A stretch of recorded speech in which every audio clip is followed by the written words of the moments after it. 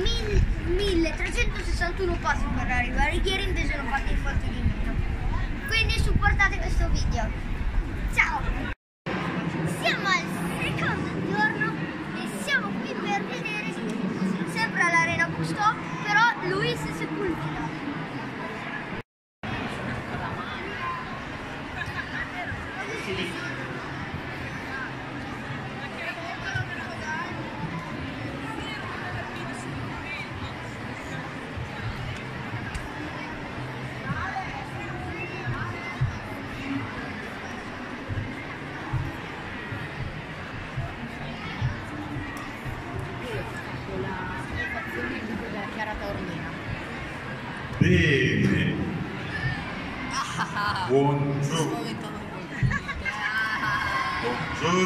arrivati a tutti quanti.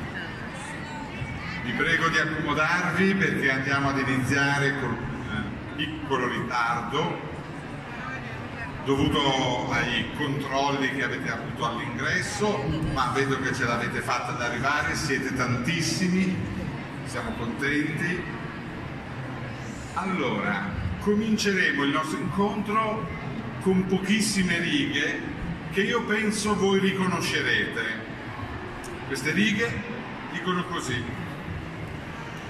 Banco di aringhe a sinistra, annunciò il gabbiano di vedetta, e lo stormo del faro della sabbia rossa accolse la notizia con strida di sollievo. Comincia così un libro, un libro molto famoso. Qualcuno lo ha riconosciuto? La storia di una gabbianella e del gatto che le insegnò a volare. È uno dei libri che hanno accompagnato voi, tanti bambini e ragazzi prima di voi, a diventare grandi, no? Lo abbiamo letto, lo abbiamo visto magari anche al cinema o in televisione, no?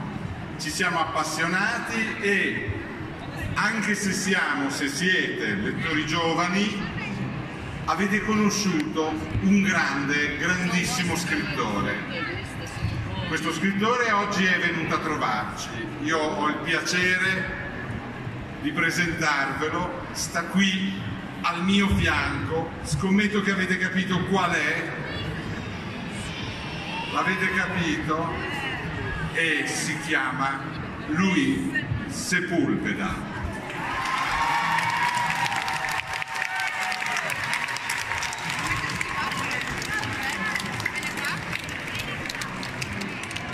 Fianco di Louis abbiamo un'altra persona speciale. Voi avete letto il suo libro nella nostra lingua, l'italiano, perché lei lo ha scritto in italiano. È una traduttrice, traduce libri dallo spagnolo, ha tradotto autori importantissimi che gli adulti leggono con grande passione. Ha tradotto uno scrittore che si chiama Gabriel Garcia Marquez, ha tradotto una scrittrice che è stata qui con noi un po' di anni fa, che si chiama Maria Teresa Andruetto, ne ha tradotti tantissimi altri e ha tradotto anche Luis e ha tradotto anche La Gabbianella e gli altri libri che noi abbiamo letto. Lei si chiama Ilide, Ilide Carmignani, un... è qualcosa di più della traduttrice di lui, è una cara amica e insieme da cari amici discuteranno. Ilide vi racconterà un po' la storia, la vita di lui, lascerà lui di raccontare di sé. Ilide grazie. Hamburgo nella Germania. Nel libro si racconta un po' una parte anche della vita di questo, di questo gatto nero era un gatto, un gatto enorme, un gatto che pesava 11 kg, era una sorta di animale enorme, bellissimo, nobile. E è vero che un giorno quando mio figlio Sebastiano era un ragazzino di due anni, credo, abbiamo fatto una passeggiata per il porto d'Hamburgo e subitamente abbiamo visto qualcosa che sembrava orribile e che era un uccello marino, un pelicano, che aveva catturato a un piccolo gattino nero, era piccolissimo, così 4-5 centimetri, e lo aveva nella buca, stava a punto di mangiarselo. E mio figlio e io bueno, noi siamo avvicinati a questo uccello, lo abbiamo perso del, e abbiamo conseguito liberare questo piccolo gattino e lo abbiamo portato a casa. No? Era un gatto, un gatto con fortuna, se non, è, non c'eravamo passato mio figlio e io, con tutta sicurezza l'uccello lo aveva mangiato e fine, fine della storia. No? L'abbiamo portato a casa e ha cominciato a, a diventare il gran compagno della vita. Eh, quando io ero un bambino, i miei genitori, anche il mio nonno la mia nonna, sempre mi raccontavano una storia avanti di, di andare a letto, avanti di dormire. E questa è una tradizione che io ho conservato anche con la mia famiglia, con i miei figli. E quando il gatto ha cominciato a chiamarsi Sorba, è arrivato alla, alla famiglia, alla casa, ha cominciato anche a essere protagonista di diverse storie. E a mio figlio non volevano che io leggeva una storia avanti di dormire, mi dicevano sempre no, inventa, racconta una storia con il gatto Sorba come personaggio centrale. No? E così sono non so, tantissime narrazioni breve, corta, dove parlava del gatto come figura centrale di una storia. E piano piano si è convertito in questo personaggio del, del romanzo no? che finalmente si chiama la, la storia della gabbianella e il gatto che le insegnò a volare. Ma il ha, ha avuto una vita felice insieme a noi nel cuore della famiglia ha vivuto quasi 12 anni e è morto perché la vita è così, tutti gli animali, gli esseri umani arriva un giorno di dire addio alla vita, continua il, il ciclo della vita che sempre si rinnova. E il, quando Sorba era morto, i miei figli lo hanno, le hanno fatto una sepoltura che sta in in una parte da, vicino a Monaco de Baviera, nella, nella campagna, al piede di un vecchio albero gli ha lasciato una sorta di lapida, una placca che hanno fatto di legno che dice qui riposa il più nobile dei gatti, il gatto sorba, cioè pellegrino para il tuo andare e sentilo e sente il suo rumore e, e così il, ha continuato una vita di, nel mezzo di questo paesaggio, in questo posto vicino di Monaca da Baviera. Ma è stato un gatto bellissimo, un gatto straordinario, un gatto molto nobile e che veramente ha meritato trasformarsi in questo personaggio uh, che la letteratura lo ha fatto immortale. No? Io mi sento felicissimo di, uh, di aver fatto questo contributo a, a, al grande prestigio di questo, di questo gattone nero, nobile, che era semplicemente, semplicemente così. Un gatto nero, grande, nobile, e come dice il romance, un gatto del porto d'Hamburgo.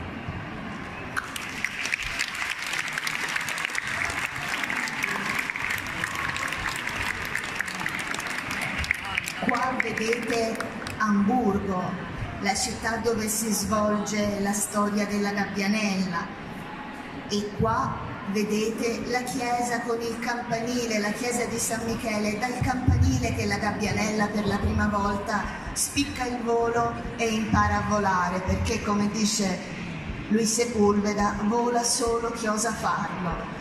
Qua invece vi faccio vedere i tre bambini, i tre ragazzini che sono i figli di Luis Sepulveda a cui è dedicato il libro. Se voi aprite il libro trovate dedicato a Sebastian, Max e Leon, perché loro appunto ascoltavano le storie. E adesso sono un po' più grandi.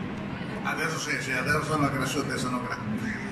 Una, una delle cose eh, che forse, eh, a cui forse non avete mai pensato tanto, libri di Luis Sepulveda sono tradotti in 55 lingue. La storia della Gabbanella è arrivata ai bambini di tutto il mondo. Qui vedete, questa è l'edizione. In che lingua è? Lo sapete che, di che lingua è questa che vedete? Tedesco. E questa è un po' più difficile. Che... Greco, bravissimi. Questa?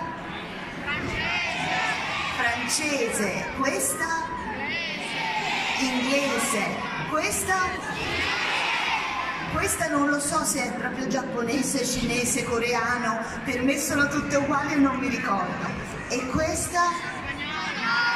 È l'edizione spagnola, perché anche se Luis parla italiano, la sua lingua madre è lo spagnolo. E qua vedete il mondo e vedete in verde un paese lungo lungo, 5.000 chilometri e stretto stretto, che è il Cile. E lì lui è nato, riveliamo la data di nascita e quest'anno è un anniversario importante.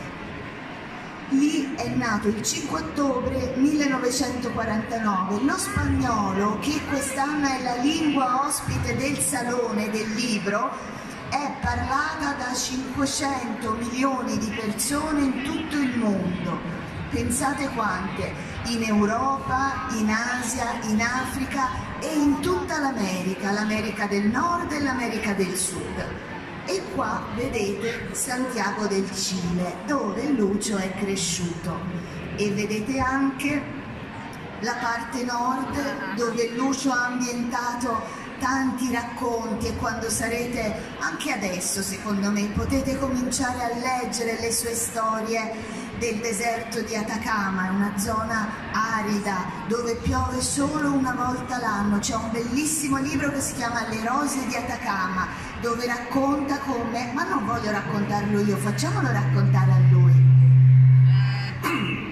Bene, sì, lì parla di una regione del nord del Cile, è un deserto, è il deserto più brutto del mondo, non cresce nulla, solamente silenzio, il sole, la salvia, la roccia e non c'è quasi nessuna forma di vita, ma una volta all'anno, una volta, e sempre nel mese di marzo, succede qualcosa che si si condensa la umidità che viene dal mare al fianco della montagna torna e questa umidità si lascia cadere nel deserto. È sempre un giorno di marzo che da ma da meno alla, con la prima luce del giorno si vede come della terra appare una piccola ma piccolissima fiore sono in cento, mille, milioni di piccolissimi fiori di un colore rosso, rosso, intensamente rosso, come la sangue quasi, e che in un brevissimo tempo di 15-20 minuti prendono un'altezza di 2 centimetri, la fior si apre mostra tutto il suo splendore, tutta la sua bellezza del colore rosso e dopo 20 minuti il sole, il calore terribile del sole del deserto la ha bruciato, l'ha calcinato no? e la converte semplicemente in terra no? e continua la vita del deserto senza nessuna altra forma di vita, solamente questo piccolo miracolo che dura fra 20 e 30 minuti, una sola volta all'anno, no, e che si chiamano la, in spagnolo las rosas de Atacama, no? le rose di Atacama. Che a me ha servito per raccontare una storia perché è veramente un piccolo so, miracolo della vita che è così brevissimo, 20-30 minuti, ma una estensione enorme del territorio del deserto si vede di un colore rosso intensissimo solamente in questa piccola fiore che hanno questa brevissima vita, molto brevissima vita e che fanno possibile questo miracolo. Qua le popolazioni che vivono laggiù, per esempio il Mapuche, riescono a vivere in armonia con la natura, ma non sempre, non sempre questa armonia viene lasciata a sé, arrivano gli uomini bianchi. Che, che cosa, che tipo di... puoi raccontarci un po' perché hai, hai voluto toccare una storia così del sud del mondo, arrivare alle balene, che cosa ti lega anche ai popoli indigeni, alle etnie della Patagonia e della Terra del Fuoco?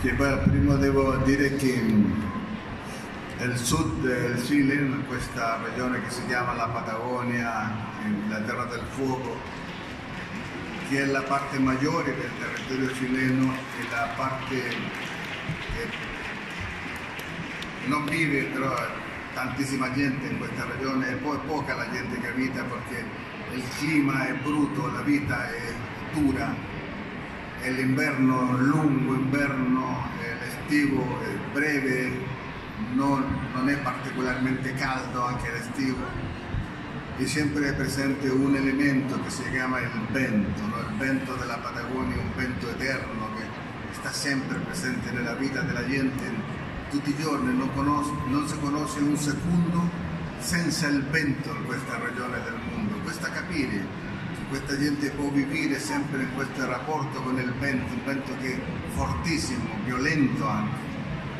ma è una regione di una, di una bellezza molto particolare perché nella parte che dà all'Atlantico, che è la parte dell'Argentina, è una sorta di stepa enorme.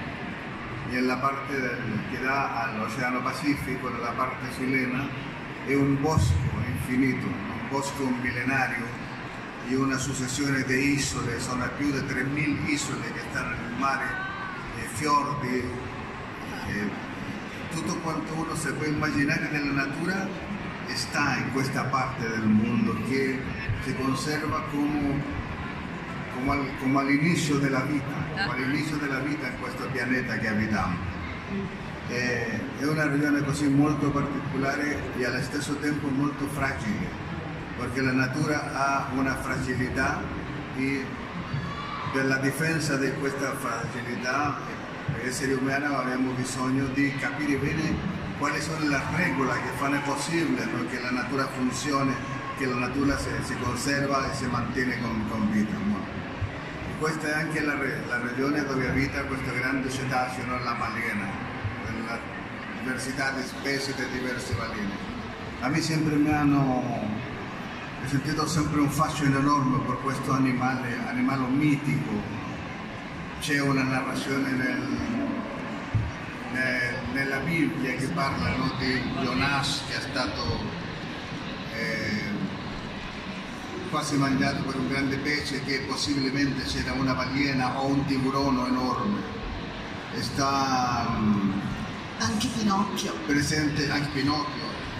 Eh, ehm, in tutta la cultura del mondo è sempre stato presente questa grande figura, grande animale del mare e che ha qualcosa misterioso eh, si sa che è un animale enorme che abita in piccoli gruppi, quasi in solitudine, amano una, una sorta di soledad marina, non attaccano, è un animale pacifico eh, e che sta in pericolo perché l'uomo ha scoperto che la carne di balena ora si mangia y que la grasa de la ballena se usa en diversas cosas y que oltre a productos que se obtienen de la ballena, por ejemplo, se usan para las fabricaciones de profumo.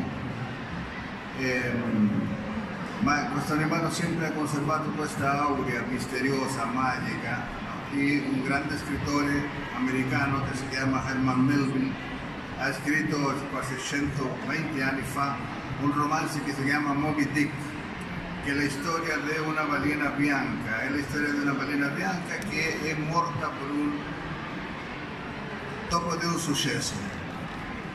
E questo scrittore americano racconta di una maniera magistrale no, la storia della caccia di questa balena bianca, ma non racconta i motivi della balena, perché questa balena bianca ha attaccato a un barco, a una barca, qual era la sua motivazione, perché ha fatto, perché ha attuato così un animale che è per definizione solidario e pacifico. E io ho fatto una, bueno, una piccola investigazione, eh, ho conosciuto un po' della tradizione di un popolo del sud del mondo che parte di una etnia che si chiama Mapuche e che hanno un rapporto molto speciale con queste grandi cetacee, con le balene e questo mi ha servito per raccontare no, questa nuova favola che parla di questo, dei motivi che hanno fatto che uno dei grandi balena bianca ha attaccato a una barca no, con, con, un finale tragico per tutti. E, e volevo raccontare questa storia perché mi sembrava che quando un scrittore dimentica raccontare una cosa è un dovere di un altro scrittore raccontare questo che l'altro ha dimenticato semplicemente così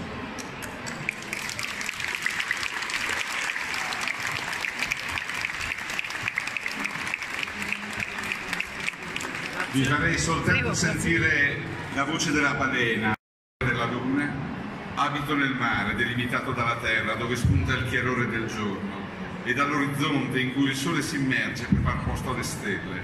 L'acqua è fredda, attraversata da correnti gelide che arrivano dai lontani confini dove tutto è bianco e il mare si trasforma in un'immensa roccia color sale che cresce quando le notti sono molto lunghe e cala quando i giorni sembrano non avere fine.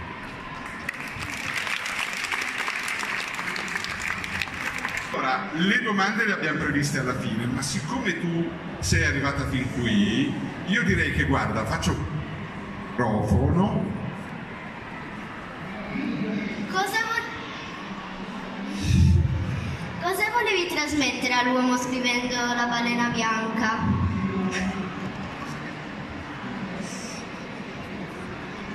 Ci dici anche come ti chiami? Giulia. Giulia. Guarda, ehm, no, eh, volevo, volevo raccontare no, la, la storia di questa balena bianca, ma soprattutto volevo raccontarlo dal punto di vista della stessa balena. no? Eh, per questa ragione il libro si chiama così, Storia di una balena bianca raccontata per lei stessa, eh, perché era l'unica maniera di far capire perché è, ha attuato così questa balena, perché il suo comportamento è stato così, eh, qual era la grande motivazione perché la faceva muoversi, ragionare così. E questa è stata la grande, la grande intenzione.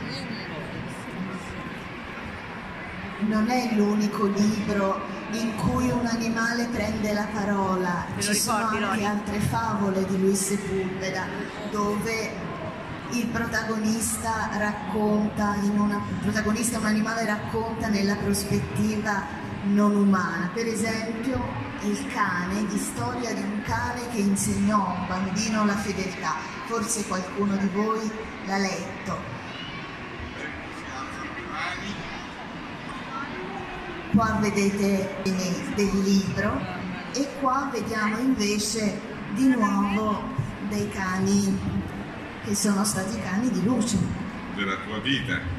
cani della tua vita, Laika e Sarco.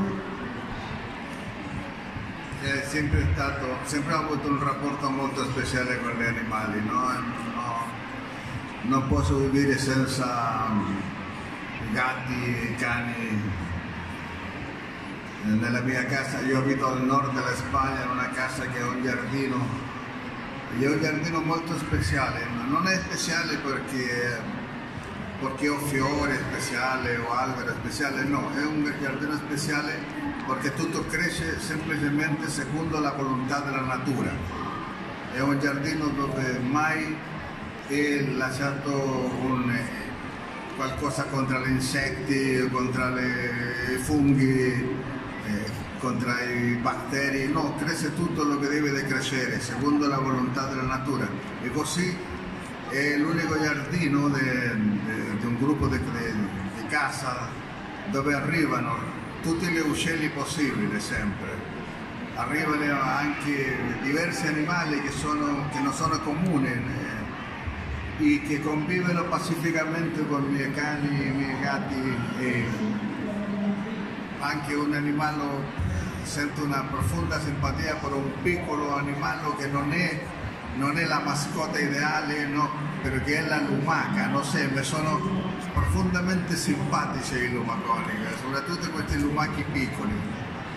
E, è scritto anche una favola raccontando la storia di una lumaca, di una favola che è nata da una domanda che mi ha chiesto uno dei miei un nipote. Io ho la fortuna di avere sei figli e anche sei nipoti un giorno uno di questi nipoti è arrivato a me con una domanda terribile perché aveva una lumaca in una mano e guardava la lumaca e subitamente mi ha chiesto eh, no no perché è così lenta?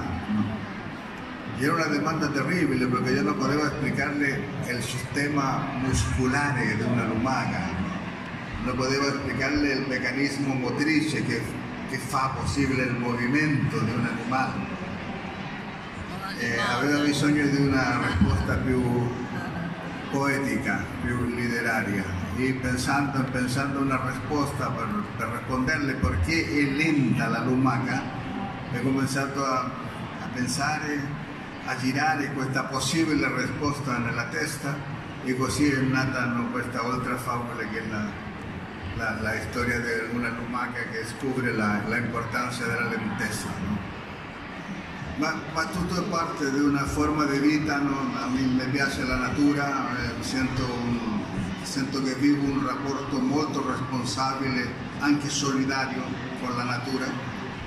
E una piccola dimostrazione di questo rapporto coerente con la natura è il giardino della mia casa, no? dove tutto cresce e tutti gli elementi della natura, tutto quanto vive è sempre benvenuto e sempre a un posto nel giardino.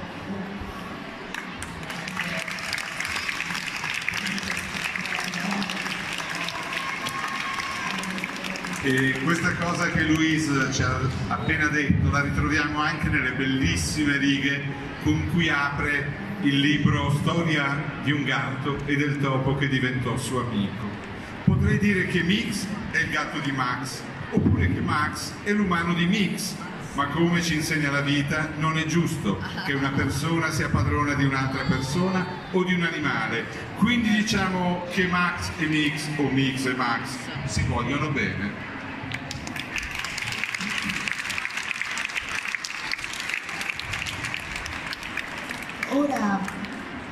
Prima dicevate che i bambini di Sepulveda sono molto cresciuti. Ecco, qua potete vedere i bambini di Sepulveda come sono oggi e qua invece potete vedere Carmen Yagnes Hidalgo, che è una poetessa che è qua con noi in prima fila e che è la compagna di Luis Sepulveda.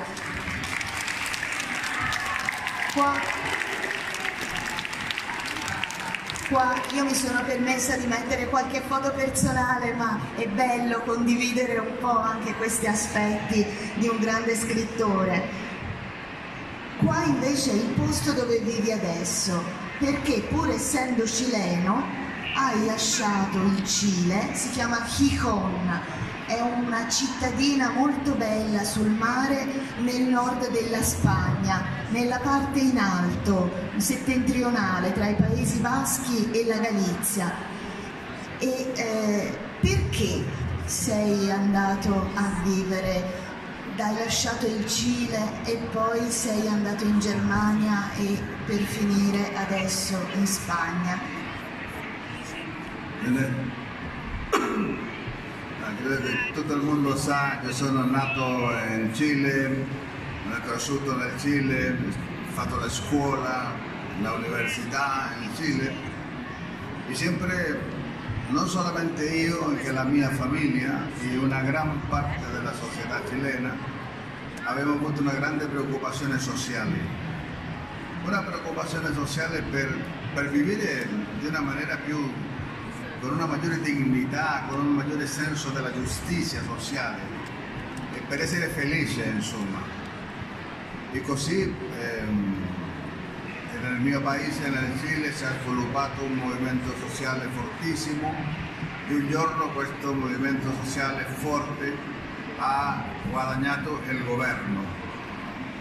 E ha cominciato un'epoca che ha durato tre anni di, con un governo che aveva solamente una missione, era fare un contributo alla felicità collettiva di un popolo, del popolo cileno. Naturalmente questo non è stato non lo ha capito bene una parte della comunità internazionale no? e, e, è così che hanno allentato alla forza militare di un giorno dell'anno 1973 hanno fatto un, lo che si chiama un golpe di Stato ha cominciato una dittatura, una dittatura feroce, tantissima gente è morta, tantissima gente è andata in carcere, mia moglie e io abbiamo stato un lungo tempo anche in carcere, tutta gente è semplicemente scomparsa, non si sa che hanno fatto con questa gente. E una parte anche molto importante di, dei cileni siamo andati a vivere fuori, quello che si chiama all'esilio. E nell'esilio la vita ha continuato, noi così abbiamo stato nella in diversi paesi dell'America Latina, dopo nella, nella Germania, nella Svezia, nella Francia e finalmente abbiamo deciso di vivere in un paese un po' vicino della nostra cultura, cioè un paese dove si parla la nostra lingua materna, che è lo spagnolo. E abbiamo deciso no, di abitare in una parte della Spagna, la parte nord della Spagna dove siamo adesso, no, a Gijón.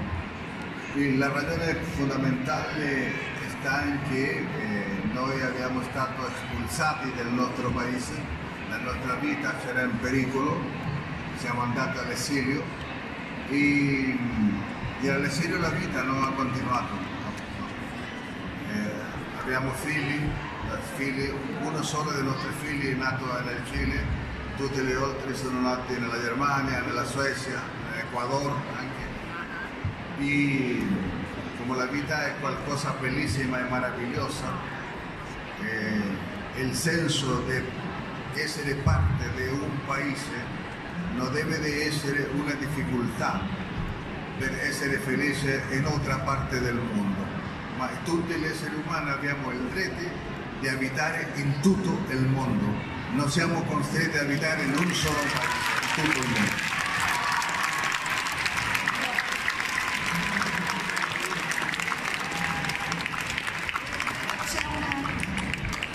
quando hai lasciato il Cile hai dovuto lasciare laggiù tuo padre, tua madre, è stato uno strappo anche familiare grande. I tuoi nonni avevano lasciato la Spagna per andare a vivere in Cile a cercare una vita migliore, ma c'è anche una nonna che nessuno si aspetta qua, che nessuno sa, una nonna che arrivava da un posto, una città italiana.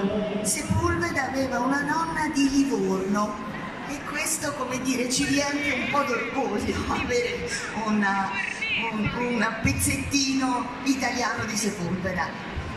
Io credo che il tempo sia veramente agli sgoccioli. Volevo farvi vedere eh, gli animali che vivono adesso, i compagni di vita di, o diciamo, eh, lui Sepulveda è l'umano di questi, di questi animali, cioè il compagno d'Artagnan e questi due gattoni che si chiamano No, ehm, sì, adesso abbiamo due animali nella casa che sono eh, ufficialmente animali della casa, no? uno un cane, un cane un, simpatico che si chiama Compagno d'Artagnan perché ha una pelle nera con una croce bianca qui come un moschettiero, no? come il romanzo di, di tre moschettieri. E l'altro è un gatto, un gatto silvestre che si chiama il, il, il compagno Giorgio e, che, e, la, e la gatta che sta nella foto è una, è una gatta che è arrivata anche subitamente noi ha deciso di venire con noi che è un po' la, l'amica intima del, del compagno Una fidanzata. fidanzata sì. Allora, forse qualche bambino, qualcuno prima era anche arrivato, una domanda, due, tre, di più credo che faremo fatica a farne, c'è qualcuno lì in prima fila? Allora, vieni, abbiamo il microfono, ci dici sempre come ti chiami? Tommaso, Tommaso, Tommaso.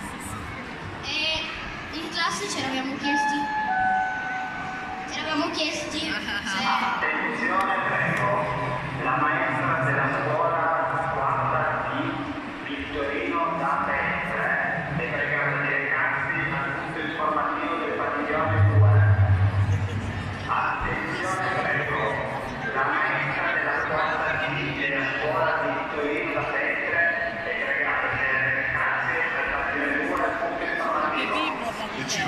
subito per favore. Tommaso. e in classe ci eravamo chiesti se è stato fatto prima eh, questa storia della balena perché c'era scritto, ci eravamo chiesti se Mocha Dick era la balena da cui hanno preso Moby Dick.